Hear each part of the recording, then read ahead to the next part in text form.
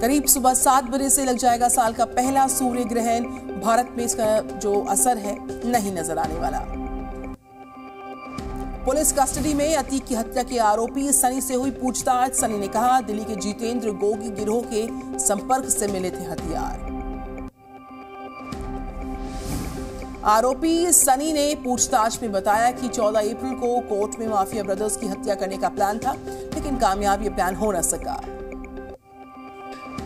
15 अप्रैल को तीनों आरोपियों ने की थी अस्पताल की रिकी। आरोपियों ने दो मोबाइल फ़ोन खरीदे, लेकिन सिम कार्ड के लिए फर्जी आईडी नहीं मिली।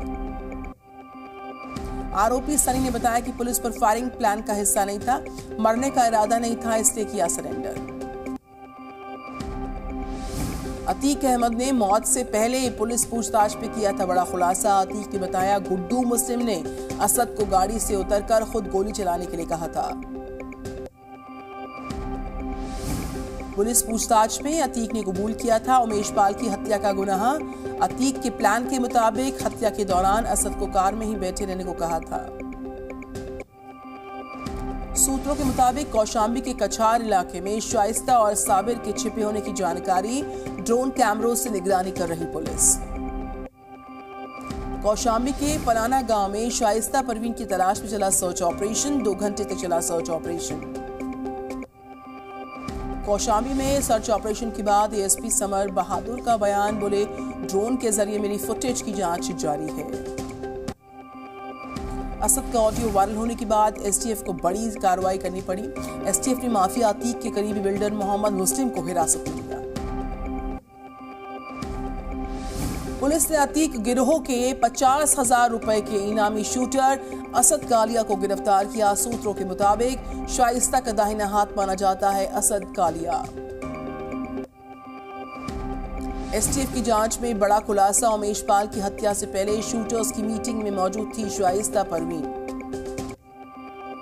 साबरमती जेल में बैठकर अतीक अहमद शूटर्स को देता था निर्देश। अशरफ भी बरेली जेल से बैठक में होता था शामिल।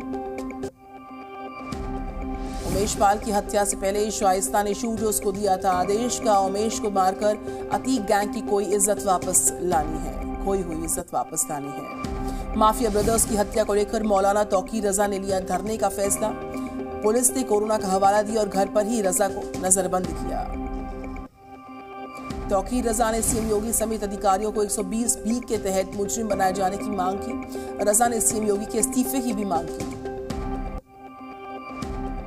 चीन को पीछे छोड़कर भारत बना दुनिया में सबसे ज़्यादा आबादी वाला मुल्क, भारत की आबादी 142 करोड़ के पार यूएन रिपोर्ट में पुष्टि।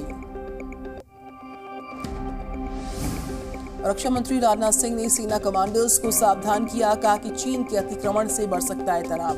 निगरानी बहुत ज़रूरी। 2024 चुनाव को लेकर सीएम ममता बनर्जी ने बीजेपी को किया चैलेंज कहा, संविधान पर बुलडोजर नहीं चलाया जा सकता। 200 सीट्स का आंकड़ा पार नहीं कर पाएगी बीजेपी।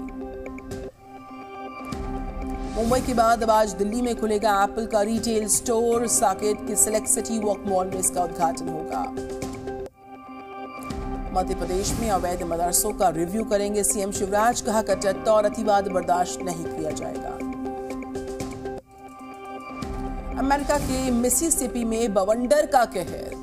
पिछले एक महीने में तूफ़ान से 23 लोगों की मौत, सैकड़ों लोग बेघर हुए। न्यूयॉर्क में पार्किंग कॉम्प्लेक्स की बिल्डिंग गिरने से एक की मौत, पाँच घायल लोगों से की गई, इलाका खाली करने की अपील। रोबोट डॉग की मदद से किया जा रहा है रेस्क्यू ऑपरेशन, गाड़ी में फंसे लोगों की तलाश जारी। News.